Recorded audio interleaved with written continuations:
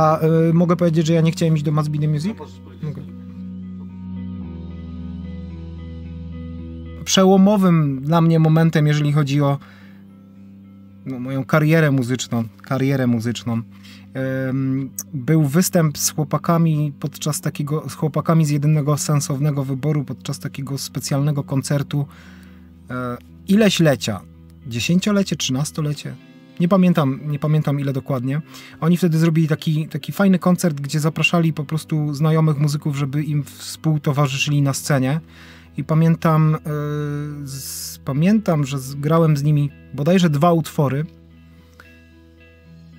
Dwa miesiące to wałkowałem ponad, żeby dobrze wypaść na scenie. Ja oczywiście się bardzo, bardzo stresowałem.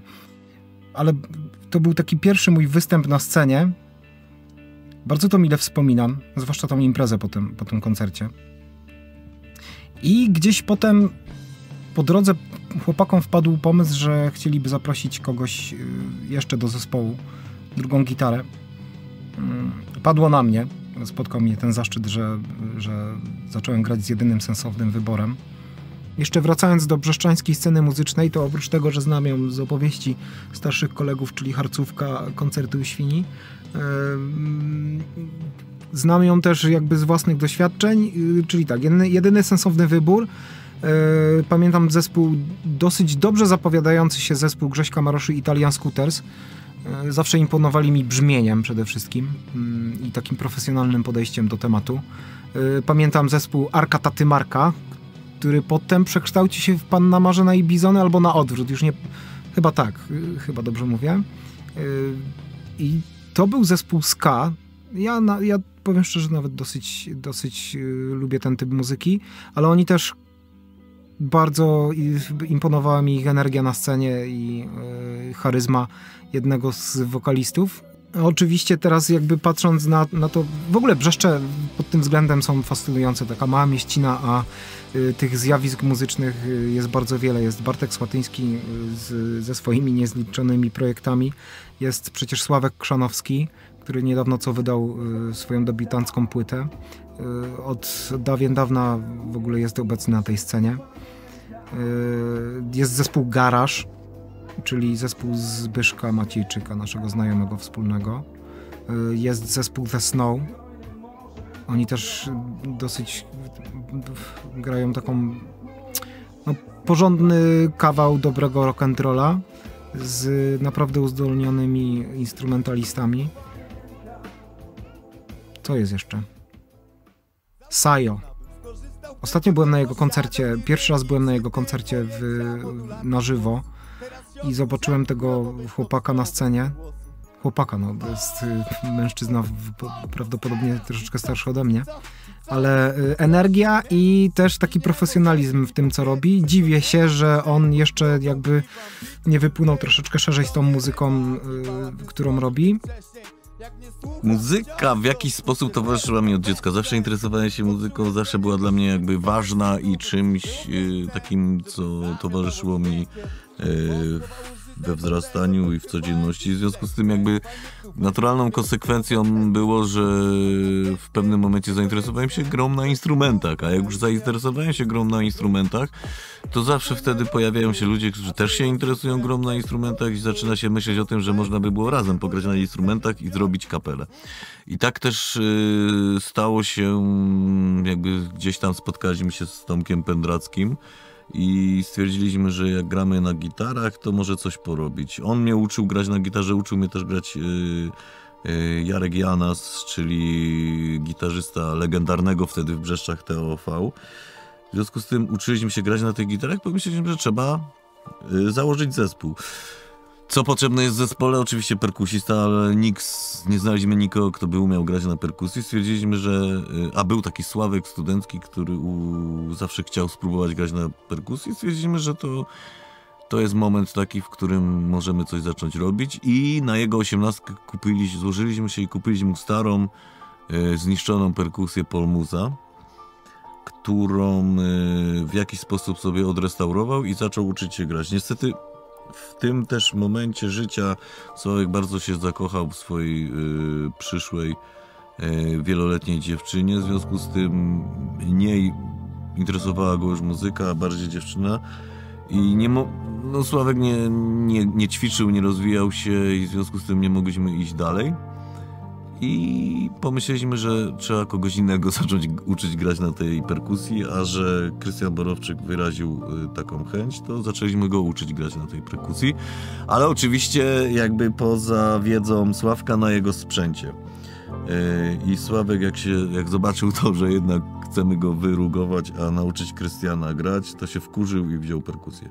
No i wtedy Krystian nie miał wyjścia, musiał coś już działać i kupić swoją perkusję. I tak jakby zaczęła się nasza przygoda z graniem zespołowym. Grałem ja, Tomek i Krystian. Założyliśmy zespół, który nazwaliśmy e, Grenote.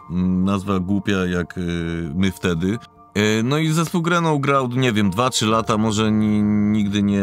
Zagrał tylko jeden koncert na Wielkiej Orkiestrze Świątecznej Pomocy w Brzeszczach z gościnnymi wokalistami, bo oczywiście nie dorobił się nigdy wokalisty. Basisty przez jakiś czas się dorobił, niejaki Marek Siedlarz z nami grywał. E, I co, graliśmy głównie covery, czy to Nirvana, Rage Against the Machine, jakieś metalowe rzeczy. Mm, na tym koncercie zagrał z nami, e, zaśpiewał z nami Bartek Słatyński, jakiś Rage'ów i, i chyba chyba Kaczor z Running Regan wtedy. No i tak w zasadzie graliśmy, graliśmy, troszeczkę nam się drogi rozchodziły. Ja byłem zafascynowany wtedy muzyką grunge'ową, Tomek bardziej metalową i jakby on w tą stronę, on był bardzo dobrze technicznie, dużo ćwiczył. Ja oczywiście byłem rock'n'rollowcem, więc nie potrafiłem grać na tej gitarze i tak nie do końca nam już te drogi się schodziły i w pewnym, no, jakby w pewnym momencie zaczęliśmy się kłócić. E, pamiętam ostatnią próbę, na której ja nie wytrzymałem i zacząłem dusić Tomka i tak skończył się zespół e, Grenote, a my z Krystianem chcieliśmy grać dalej, coś robić. E, I w pewnym momencie Marek Podleszański z legendarnego brzeszczańskiego zespołu TOV dowiedział się, że jakby jest dwóch patałachów z Przecieszyna, którzy chcą coś robić, a on jako patałach z Brzeszcz też odchodził właśnie wtedy od TOV, bo mu się drogi rozchodziły i stwierdził, że się do nas odezwie. I Marek się do nas odezwał, umówiliśmy się na próby i tak powstał zespół Jedyny Sensowny Wybór, który chyba funkcjonował na tym naszym lokalnym rynku aż yy, 10 lat. Yy ponad nawet 10 lat. Później za, zamienił się w kundle. E, niemniej, zanim to wszystko się zaczęło, ta scena brzeszczańska jakby była dla mnie w jakiś sposób fascynująca, bo zawsze w tych Brzeszczach dużo się działo, przewijało się wiele zespołów i my z zazdrością je oglądaliśmy, podglądaliśmy, patrzyliśmy co robią, jeździliśmy czasem na próby. Tych zespołów było wiele, oczywiście wspomniany już TOV, było i wcześniej było też więcej, ale ja z mojej młodości kojarzę, wiadomo, TOV, czyli taki zespół, który był już o nie wiadomo co to. Były oczywiście wiele projektów Bartka, jak Amsterdam, czy Jury Gatmi, czy później Beton Boogie. Były takie zespoły jak Running Regan, właśnie bardzo ciekawe granie, bo to było takie trochę Red Hot Chili Peppers, trochę Rage Against, takie też trochę new metalowe. No tam nie mieli jakiegoś określonego stylu, ale bardzo fajne rzeczy robili. Tam Regan wtedy był takim specyficznym, fajnym perkusistą. Co było jeszcze? Pamiętam to Huwa Bohu, yy był zespół Moby Dick, gdzie Witek Dziwlik e, z Honorem mieli taki bluesowy, e, bluesowy band. E, wiele tych zespołów grało. I one zawsze gdzieś się tam przewijały. I pamiętam, jak już założyliśmy jedyny sensowny wybór, że zaczęliśmy grać, to te zespoły cały czas były, powtarzały się i tak dalej. Później, gdy już skończyliśmy z jedynym sensownym wyborem, to ta brzeszczańska scena troszeczkę jakby tak przyumarła, chociaż teraz widać, że, że zaczęła się odradzać. Ludzie, którzy kiedyś grali na gitarach, wychowywali, wychowy, wychowali swoje dzieci i zaczynają do nich wracać i odkurzać sprzęty muzyczne i grać muzykę, co jest piękne w jakimś sensie.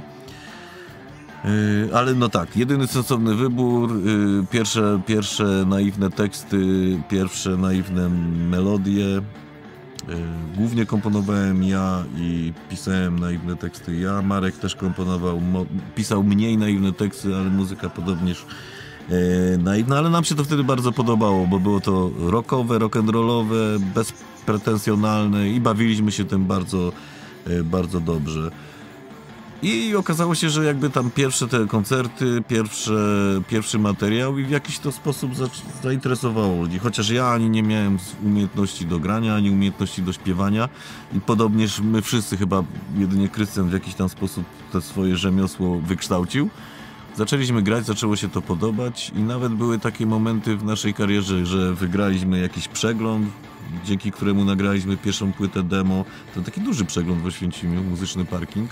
Zajęliśmy tam pierwsze miejsce i dzięki temu nagraliśmy nasze pierwsze demo, które było jak na pierwsze demo spoko, ale też nie było zrealizowane jakoś yy, najlepiej. Dzięki temu, dzięki tej demówce zaczęliśmy grywać regularne, jak na tamte czasy, regularne, alternatywne trasy po różnych yy, miejscowościach, głównie na Śląsku i Małopolsce, ale też pamiętam zahaczaliśmy Pomorze, yy, Dolny Śląsk. Nagraliśmy trzy płyty. W tym jedna była długo, długo grająca, jedna to była takie demówka z trzema utworami i jedna nuta wolności, nuty o wolności. Tak, nagraliśmy te trzy płyty, mm, pograliśmy bardzo dużo koncertów, jak na taki mało znany zespół, bo chyba około 200 tych koncertów się nazbierało. Zjeździliśmy trochę najpierw garbusik, garbusikami, później ogórkiem. Pamiętam pierwszy koncert. Na moje nieszczęście to nie był koncert gdzieś w małym klubie, to był koncert na dużej scenie y, rock reggae festiwalu. I przyznam się szczerze, że pomimo tego, że byłem trzeźwy, totalnie trzeźwy, to nie pamiętam z tego koncertu nic. Byłem tak, tak stremowany. Y, potem oglądałem nagrania i to jednak, jednak, jednak było widać. I to był taki pełno, pełnowymiarowy mój debiut na scenie. No i potem się zaczęło. Jakoś to, jakoś to się potem y, rozkręciło. Koncerty z jednym sensownym wyborem. Koncerty nie tylko w Brzeszczach, ale Katowice, Gdańsk. Y, potem zespół zmienił nazwę na Kundle. Pojechaliśmy nagrać płytę do y, Porażyna. Płyta nazywała się Do Obrzydzenia.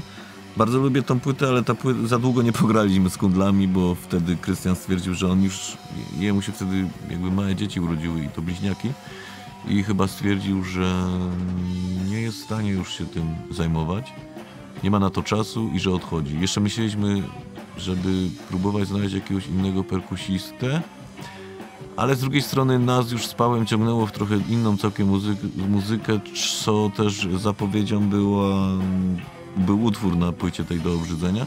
I w związku z tym dogadaliśmy się, że, że chyba zaczniemy robić coś innego muzykę e, instrumentalną, tak zwaną zaszufladkowaną jako post-rock. I tak też zrobiliśmy, ściągnęliśmy do, e, do grania Artura, którego znaliśmy tam z, ze studiów, od kolegi Szymona jeszcze. I tak zaczęliśmy robić materiał na, dla zespołu, który w pewnym momencie nazwaliśmy B-Sides dokoptowaliśmy perkusistów, mieliśmy tak zwane mm, castingi i casting wygrał niejaki Bartłomiej Urbańczyk, chociaż kilku perkusistów się tam przewinęło.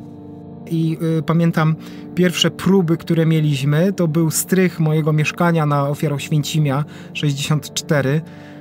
Ym, ledwo tam się w ogóle mieściliśmy. To był taki strych, że tylko w jednym miejscu można było się wyprostować, podnieść głowę i tam, y, tam ćwiczyliśmy pierwsze, y, te pierwsze kompozycje, które, y, które gdzieś tam tworzyliśmy już potem razem z Piotrem. W pewnym momencie zdecydowaliśmy się, to była jakby mocna dyskusja, czy powinniśmy, czy nie powinniśmy, kto chce, kto nie chce, ale zdecydowaliśmy się wystąpić w programie Must Be The Music w Polsacie. Ja muszę szczerze powiedzieć, że byłem mocno przeciwny temu, żebyśmy w ogóle szli się tam pokazywać, bo jakby nasza muzyka nie pasowała mi do koncepcji tego programu. E, okazało się, że się myliłem w pewnym sensie. E, jakimś cudem wygraliśmy ten program.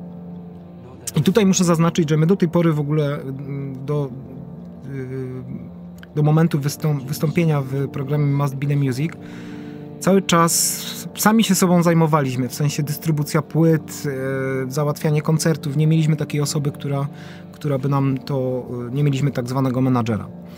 Y, po występie, z, po, po zwycięstwie w programie Must Be, the, Must Be the Music podjęliśmy współ, stwierdziliśmy, że oprócz Polski przydałoby się może spróbować wyjazdów za granicę, koncertów za granicą. I tu pojawia się Damian Ekman, Damian Ekman, który wcześniej pracował w fonografice, został naszym, został naszym menadżerem. I to też bardzo ważne, przynajmniej dla mnie, myślę, że dla reszty, reszty zespołu też, pierwsze koncerty zagraniczne. Pierwszy, o ile dobrze pamiętam, odbył się w klubie Szokolatem w, w Berlinie. No i to była taka pierwsza trasa europejska, według mnie bardzo udana, no świetne doświadczenie w ogóle pojeździć po świecie, pozwiedzać bardzo ciekawe miejsca y, i doświadczyć takiej prawdziwej trasy koncertowej, codziennie granie, praktycznie codziennie granie. Y, tych tras potem było, było, było więcej, ale to też jeden z takich ważniejszych, myślę, momentów w, w naszym zespole. Wróciliśmy, nagraliśmy drugą płytę w tym samym studio u Adama Celińskiego. No i tak się to toczyło. Koncerty po Polsce, koncerty y, za granicą. Ja w pewnym momencie mm, istnienia tego zespołu musiałem sobie zrobić przerwę. W tym czasie chłopak, chłop, chłopcy zaczęli mocno pracować nad y, trzecim albumem y, Bystanders, a koncept album powiązany mocno z historią Auschwitz. Oczywiście, ten, e, oczywiście te składy, jedyny sensowny wybór czy kundle to nie były jedyne składy, w których się tam gdzieś przewijaliśmy na tej scenie muzycznej. E, bo na pewno robiliśmy takie jednorazowe, czy też dłuższe projekty, gdzie nazwaliśmy, nazywaliśmy się Spółka Zo, gdzie graliśmy różne covery i też trochę swoich zespołów i to był powrót do wspólnej gry z, z Tomkiem Pendrackim, e, z którym e, wcześniej się dusiłem na próbie Grenołdu i, i to też było fajne. Marcin Andruszko się tam pojawiał, yy, Benny. Graliśmy trochę coverów chyba trochę próbowaliśmy robić własne, ale to nie dotrwało. Grałem też gdzieś na basie w jakimś zespole z, właśnie z Markiem Siedlarzem, z Rafałem, e, z Rafałem Biernotem. E, też głównie coverowane rzeczy i parę swoich. Pamiętam też taką historię, miałem taki krótki epizod, być może roczny, gdzie grałem na perkusji z zespołem metalowym. To jest w ogóle na dwie stopy i to sprawie jeszcze wtedy umiałem grać na perkusji. Zespół nazywał się Vitus Kadawar i to był też zespół, w którym na gitarze prym wiódł Tomasz Pendracki, y, na basie grał Marcin Andruszko i z tym, pamiętam, że z tym Vitus Kadawar zagrałem dwa takie większe koncerty nawet metalowe z, w Mega Klubie jeden i jeden gdzieś w jakimś gliwickim klubie takim metalowym. Y, przez naszą brzeszczańską stronę przewinęło się naprawdę wiele zespołów. Ja nie wszystkich nawet pewnie nie wspomnę, nie pamiętam jak się nazywały, ale tego było dużo i to były i punkowe, i regowe, i hip-hopowe. Z tego co pamiętam, no to na pewno Arka Taty Marka, gdzie tam y, z frontmanem Markiem mm, później to się przemianowało na Panna Marzyna i Bizony. Muzyka, która bardzo się podobała i chłopaki mieli, chłopaki z y, Aleja, gdzie też grał nasz perkusista Krystian z jedynego sensownego. Dużo, dużo tych zespołów, zawsze coś w Brzeszczach się działo, zawsze jakaś ta scena muzyczna E, była i zawsze jakaś wartościowa muzyka się pojawiała. Co nie zawsze jest charakterystyczne, nie wszędzie to można spotkać. Oczywiście w dużych miastach to na pewno, ale jak na takie małe, małe miasteczko, to ta muzyka jednak zawsze tam towarzyszyła. I były fajne miejsca też muzyczne, bo była tak zwana świnia, czyli lokal od zmierzchu do świtu, gdzie przewinęło się bardzo wiele różnych zespołów yy, i, tej, i z tej górnej alternatywnej półki i mniej znanych czy to metalowe, czy punkowe, rockowe, alternatywne. Była wcześniej harcówka, w której też bardzo wiele się działo i grał zespół, który na przykład miał trasę Warszawa, Poznań i Brzeszcze. E, był festiwal w końcu, który moi znajomi zaczęli, e, zaczęli z nim działać, a później ja też przyłączyłem się do organizacji i przez 10 lat w tym siedziałem.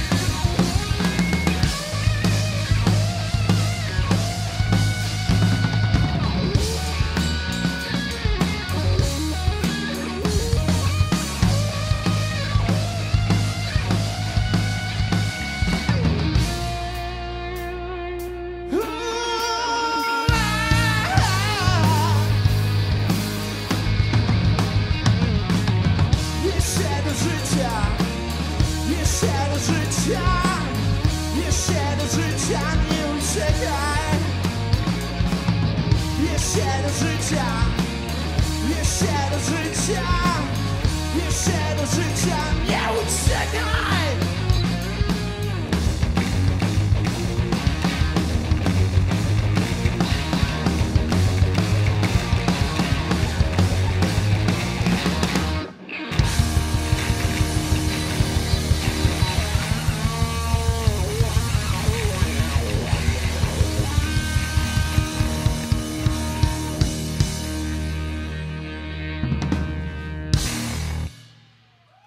Szczebrzeszcze, brzeszcze, brzeszcze.